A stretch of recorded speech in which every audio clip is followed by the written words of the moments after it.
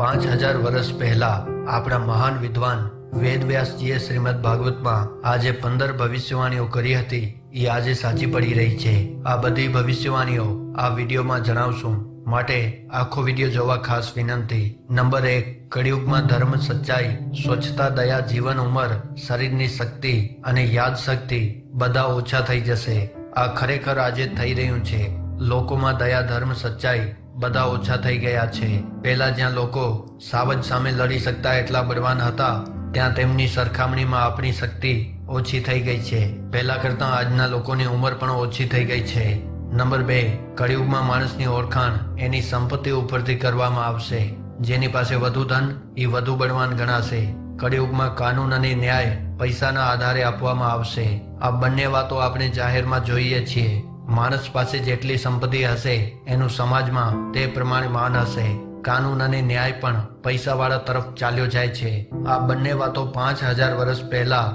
વેદવ્યાસજીએ શ્રીમદ ભાગવતમાં લખી ગયા છે. નંબર ત્રણ, કળિયુગમાં વ્યવસાયની સફળતા ખોટા કાર્યો અને દગા ઉપર આધારિત હશે. માણસની વિશેષતાઓનો પરિચય એની સુંદરતા ઉપર આધારિત હશે. આજે આપણે જોઈએ જ છીએ કે ગમે તે વ્યવસાયમાં ઈર્ષા વધી ગઈ છે. પોતાનો વ્યવસાય આગળ વધારવા લોકો સામેવાળા વ્યક્તિના ધંધાથી દગો કરવામાં વધુ ધ્યાન આપે છે તથા માણસોના એની સુંદરતાના આધારે પણ આજે આંકલન થાય છે. વિશેષતાઓથી વધુ માન સુંદરતાનું છે આજના સમયમાં. નંબર ચાર, કોઈ માણસની આધ્યાત્મિકતાની ખબર એના બહારી દેખાવા પરથી કરવામાં આવશે. આવા દેખાવાના કારણે લોકો એનો સાથ દેશે.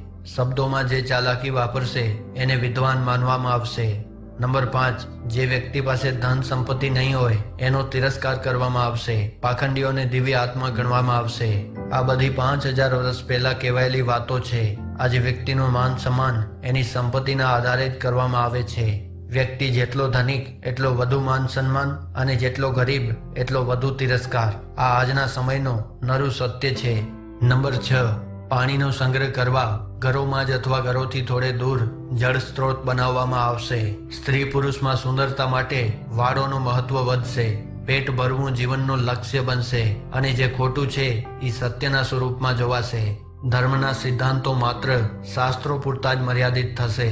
આજે હું ભવિષ્યવાણીઓનો ઉલ્લેખ કરી રહ્યો છું. એ બધી વાતો ઉપર શ્રીમદ ભાગવતમાં શ્લોકો કહેવાયેલા છે.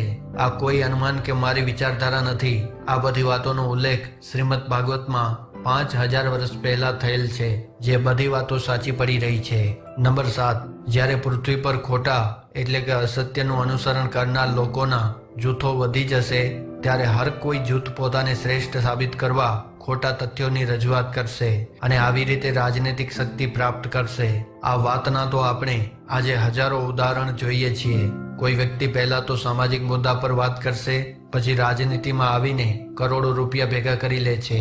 પછી સમાજના મુદ્દા કોણ અને સમાજ કોણ? એવી રીતે એ વ્યક્તિ પાછળ જોવા પણ નથી માંગતો. નંબર આઠ, દુષ્કાળ અને વધુ ઉઘરાણીના પીડિત લોકો ફળ, ફૂલ, માંસ જેવી વસ્તુઓનો ભોજન તરીકે ઉપયોગ કરશે. જે દુષ્કાળ પીડિત વ્યક્તિઓ હશે એ સંપૂર્ણ રીતે અસ્તવ્યસ્ત થઈ જશે. નંબર નવ, કળિયુગમાં માણસો ઠંડી, હવા, ગરમી, વરસાદ તથા બરફના લીધે મનોમન પરેશાન થશે. વ્યક્તિઓ ઝઘડા, ભૂખ, બીમારી તથા માનસિક ચિંતાથી વધુ પરેશાન જોવા મળશે. નંબર દસ, કળિયુગમાં માણસ જીવનની ઉંમર માત્ર પચાસ વર્ષની થઈ જશે. પહેલાની વાતો આપણે બધાએ જાણીએ છીએ કે પહેલા લોકો દોઢસો વર્ષનું જીવન જીવતા હતા. પછી ધીમે ધીમે માણસ જીવન સો વર્ષોમાં સંકુચિત થયો. એના પછી સિત્તેરથી એસી વર્ષોમાં અને હવે સાહીઠથી સિત્તેર વર્ષની ઉંમરે ઘણા લોકો મૃત્યુ પામે છે. આવનારા સમયમાં માણસ જીવન માત્ર પચાસ વર્ષનો થઈ જવાનો છે. નંબર અગિયાર. કળિયુગમાં માણસો પોતાના ઘરડા મા બાપનો સહારો નહીં થાય. આપણે બધાએ આ વાત જાણીએ જ છીએ કે આજના સમયમાં આ વાત ઘણા પરિવારોમાં જોવા મળે છે. આજના સમયમાં અમુક લોકો તો પોતાના વૃદ્ધ મા બાપને વૃદ્ધાશ્રમમાં મૂકી આવે છે. જેણે આટલા દુઃખ વેઠીને તમને મોટા કર્યા, એમને જ્યારે જરૂર પડી ત્યારે સંતાન હાથ ઊંચા કરી દે. એ વાત સરાસર ખોટી કહેવાય. નંબર બાર. કળિયુગમાં માણસ રૂપિયા માટે એકબીજાની અદેખાઈ કરશે. રૂપિયા માટે માણસ પોતાના મિત્રો તથા સગા સંબંધીઓનો નાશ કરવા પણ આગળ આવી જશે. આજે ખરેખર માણસ પૈસા માટે કોઈનો જીવ પણ લઈ લે છે. પૈસા માટે ભાઈ ભાઈનો જીવ લેવા તૈયાર થઈ જાય છે. નંબર તેર. કળિયુગમાં લોકો ભગવાનના નામ પર દાન સ્વીકારશે. ભગવાનના નામે લાખો કરોડોના ધન સંપત્તિ ભેગા કરશે. ભગવાનની ભક્તિનો ઢોંગ કરીને આને ધંધો બનાવશે. જે લોકો ધર્મ વિશે કંઈ નથી જાણતા એ ધાર્મિક વાતો કરશે. અને ધાર્મિક સિદ્ધાંતો પર ચર્ચાઓ કરશે. આજના સમયમાં લોકો ભગવાનના નામોને ધંધો બનાવી રહ્યા છે. એ બધા આપણે જાણીએ છીએ. અમુક જગ્યાએ તો માત્ર પૈસાનું જ માન છે. નંબર ચૌદ. સેવક એવા ગુરુઓનો ત્યાગ કરશે, જે ગુરુએ પોતાની સંપત્તિ દાન ધર્મમાં આપી દીધી છે. ભલે એ ગુરુ સિદ્ધ સંતો હોય, પણ સેવક એનું ત્યાગ કરી દેશે. દૂધ ન આપવા પર ગાયોનો ત્યાગ કરી દેવામાં આવશે. આ બંને વાતો આજના સમયમાં સાચી પડી રહી છે. ઘણા સેવકો ગુરુના આર્થિક બળથી જ એની સેવા કરતા હોય છે. હજી સંપૂર્ણપણે ગુરુ શિષ્ય ધર્મનો નાશ નથી થયો, પણ આવનારા સમયમાં થઈ શકે છે. નંબર પંદર. નગરો ઉપર ચોર લૂંટારાઓનું પ્રભુત્વ હશે. વેદોની વ્યાખ્યા નાસ્તિક વ્યક્તિઓના લીધે દૂષિત થશે તથા રાજનૈતિક નેતાઓ અસલમાં નાગરિકોનું શોષણ કરશે. ઉપરની ત્રણેય વાતો આજે આપણે સાચી થતી જોઈ શકીએ છીએ. નગર શહેરમાં ચોરી, લૂંટફાટના કિસ્સાઓ વધતા જાય છે. વેદોની વ્યાખ્યાઓને અમુક ખોટા ઢોંગી સિદ્ધ પુરુષોએ પોતાની રીતે ફેરવી નાખી છે અને રાજનેતાઓ દ્વારા નાગરિકોનું શોષણ થાય છે. એ વાત પણ આપણે જાણીએ છીએ. આ વિડીયોમાં શ્રીમદ ભાગવતની આ પંદર ભવિષ્યવાણીઓ કળિયુગમાં સાચી પડી છે એની વાત કરી છે. આજથી પાંચ હજાર વર્ષ પહેલા શ્રી વેદવ્યાસજીએ આ વાતોનો ઉલ્લેખ શ્રીમદ ભાગવતમાં કર્યો છે. વિચાર કરો, આપણા પૂર્વજો કેવા દિવ્ય દ્રષ્ટિવાળા હતા. જેઓ આગળના સમયમાં શું થવાનું છે એનું જ્ઞાન રાખતા હતા. એમના જીવન તથા એમના ગ્રંથો વાંચવાથી જે જ્ઞાન આપણને મળશે, એ આજના આધુનિક પુસ્તકોમાં નહીં મળે.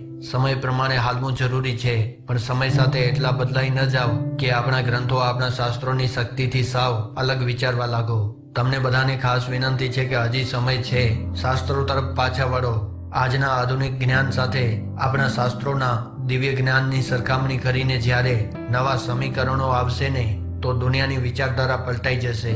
આ વિડીયોની રજૂઆત કરવામાં ઘણો સમય લાગ્યો છે.